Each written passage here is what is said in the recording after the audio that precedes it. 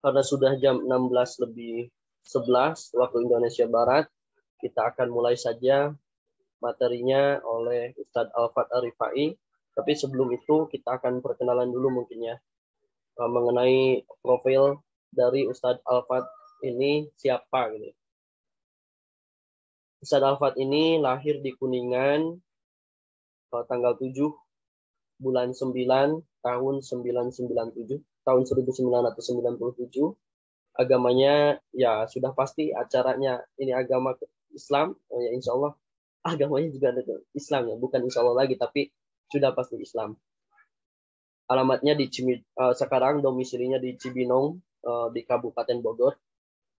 Uh, riwayat pendidikannya ini dari yang pertama dari SDN Citangtu SMPN 7 Kuningan dari MAN 1 Kuningan Terus terakhir ada STIK Al Mutajam uh, lulus tahun 2019. Sedangkan pendidikan non formalnya dari Al Palah Center Jakarta, Yogyakarta Quranic Center, ada rumah tilawah bersanad Imam Ibnu Kasir. Sedangkan ada pengalaman beliau selama uh, ini ada beberapa pengalaman. Yang pertama ada di PC Tarbawi, OSTQ Al Mutajam, Al Mutajam Kuningan, 2017 sampai 2018. Yang kedua ada pengurus pejuang subuh uh, chapter Kuningan tahun 2017 sampai 2018. Ada mudir Rumah Quran Darul Fat tahun 2018 sampai 2019.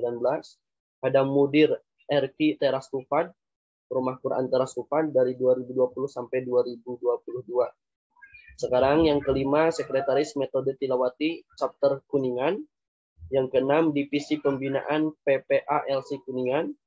Yang ketujuh, dan sampai saat ini, beliau sedang domisili di Bogor, itu sedang menjadi Mudir King Abdurrahman Al-Khair.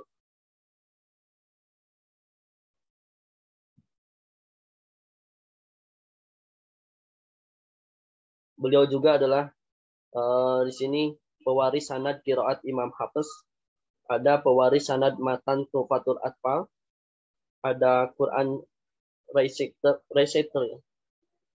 ada uh, certificate of tilawati method, ada uh, askar kauni method, ada ponder yatim planner. Nah, insya Allah untuk kenalan lebih dalamnya mungkin bisa di follow Instagramnya ya dari Alfat Arifai ya silahkan ibu bapak semuanya barangkali mau mengenal lebih jauh aktivitasnya dan lain sebagainya silakan bisa di follow dari Alfat Arifai. Double R ya Alfat Arifai. Ibu bapak semuanya mungkin cukup dulu untuk memperkenalkan dari pemateri kita pada sore hari ini. Insya Allah kita akan mulai langsung pada acara intinya yaitu uh, materi bagaimana cara menjadi hamba kesayangan. Hamba kesayangan ini adalah jalan untuk menemukan bahagia dunia dan akhirat. Kepada Ustadz Alfat Arifai, saya persilahkan.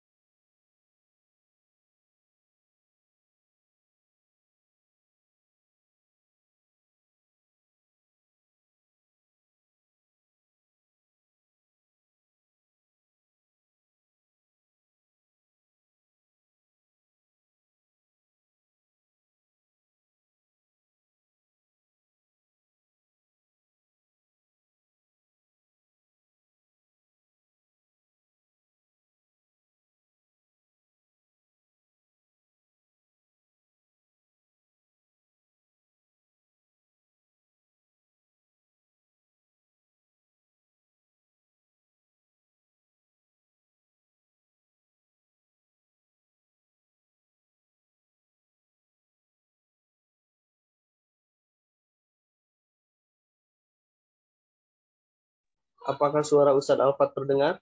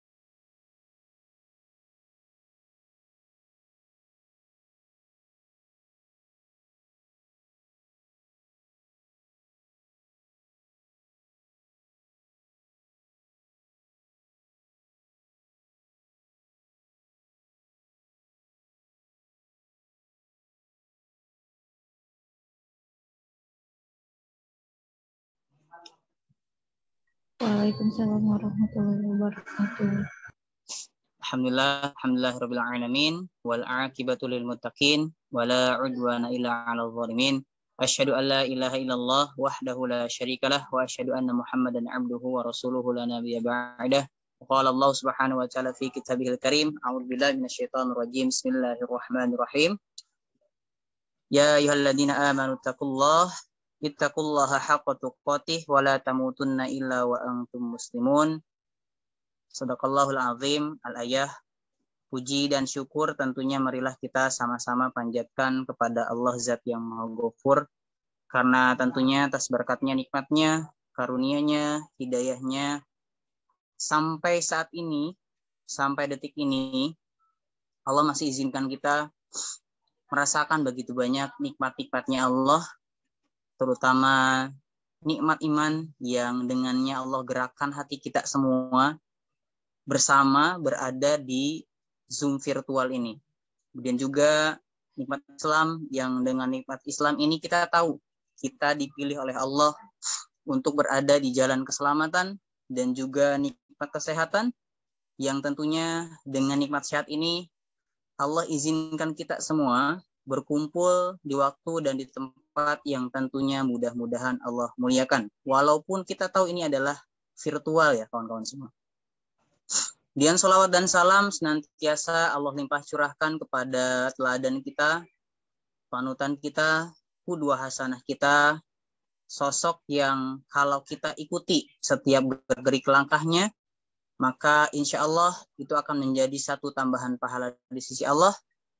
Sosok yang dikatakan nanti akan sujud begitu lama di hadapan Allah, meminta izin kepada Allah agar kita nih umatnya yang banyak dosa ini bisa menikmati bagaimana indahnya surga Allah.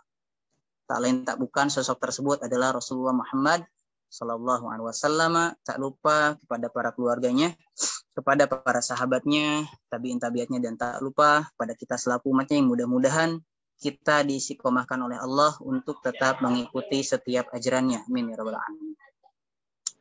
Uh, baik kawan-kawan, ini sebelumnya saya izin bertanya dulu. Mudah-mudahan suaranya tetap jelas ya. Kang Riza jelas ya suaranya ya? Cek. Kang Riza, apakah jelas suara saya? Bagi yang jelas boleh raise hand. Ya.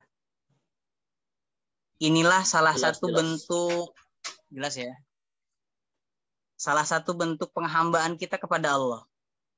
Seorang hamba bisa jadi punya keinginan. Allah pun punya rencana dan punya keinginan. Inginnya kita Tadi itu kita mulai tepat waktu ya kawan-kawan ya. Jam 4 harusnya udah mulai. Tapi qadarullah Allah mungkin punya keinginan yang lain, ya. Jadi antara inginnya kita dengan inginnya Allah itu bertemu. Dan pasti ketika bertemu keinginan Allah itu yang terbaik.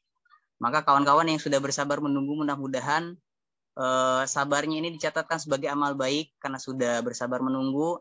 Dan mudah-mudahan ya kita sama-sama berharap dulu. Mudah-mudahan duduknya kita dicatatkan oleh Allah. Walaupun kita lewat Zoom, lewat virtual, kita sama-sama berharap, kita sama-sama berdoa. Mudah-mudahan duduknya kita ini dicatatkan sebagai duduknya di antara duduknya orang-orang yang berada di taman surga.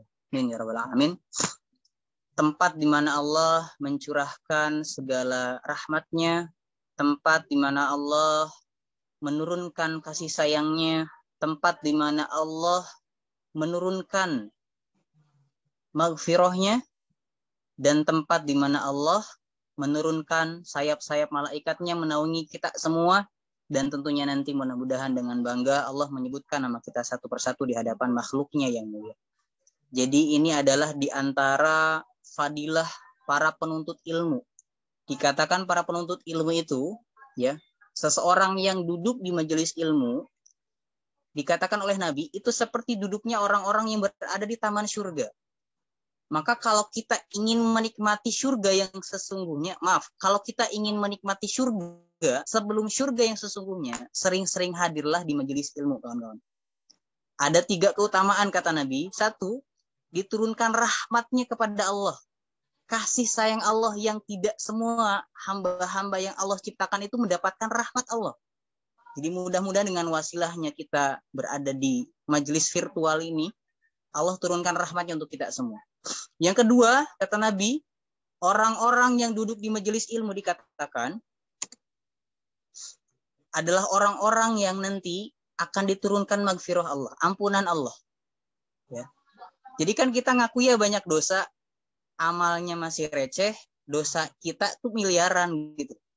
Jadi mudah-mudahan selepas kita keluar dari Zoom virtual ini, Allah hapuskan semua dosa-dosa kita. Amin ya rabbal alamin.